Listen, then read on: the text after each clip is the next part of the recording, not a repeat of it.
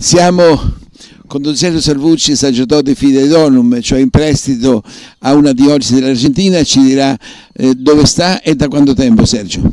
Allora, sto nella città di Puerto Madryn, al sud, nella Patagonia argentina, è una città di 120.000 abitanti e sono quattro anni che sto laggiù, dal 2015 che sto laggiù, per un totale dovrei stare giù eh, un 12 anni, 10-12 anni.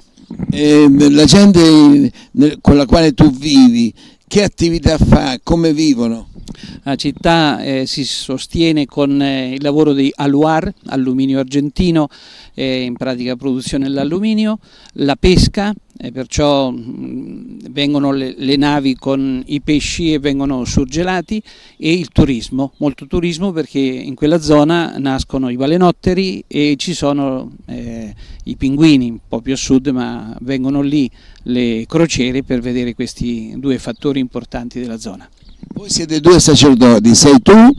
No, siamo di più. No, la vostra parrocchia? A parrocchia siamo due sacerdoti che veniamo qui dall'Italia con Don Alberico Capitani, ma ce n'è un altro pure la nostra diocesi Macerata, Don Andrés, che è brasiliano però incardinato qui a Macerata. Per quanti abitanti la vostra parrocchia, due sacerdoti? Eh, per la nostra parrocchia sono 28.000 abitanti, la città 120 abbiamo detto, sono quattro parrocchie, altri 28 ce li ha Don Andrés.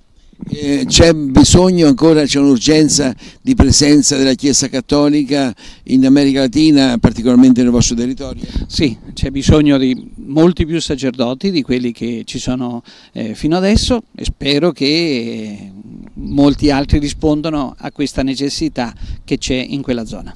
Quindi possiamo considerarla la vostra una parrocchia della diocesi di Macerata? Sì, una parrocchia della diocesi di Macerata dove il Vescovo ha fatto la prima visita pastorale, è stato molto contento, è stato con noi dal 13 al 20 di marzo, c'è anche una rivista dove ci sono tutte le sue eh, osservazioni giorno per giorno. Grazie Don Sergio e auguri. Grazie a voi e arrivederci a presto perché ogni due anni ritorno. Vi aspettiamo.